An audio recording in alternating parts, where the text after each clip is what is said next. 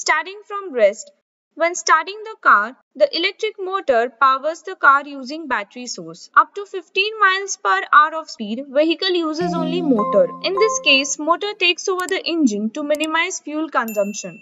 Normal operation. Driving at constant speed, gasoline engine is used to drive wheels in its optimal region. Additional energy from gasoline engine is used to power the generator which produces electric energy used to charge the battery for later use. Acceleration. When you need to go faster, both gasoline engine and electric motor work together to power the wheels. The power split device lets them combine their torques to generate more speed. Braking and deceleration. Every time you put your foot on the brake or lift off the accelerator, regenerative braking gets activated, turning the motor into a generator, which uses the kinetic energy from braking to produce electric energy used to charge the battery for later use. Stop. When the vehicle finally stops, both the engine and motor are turned off.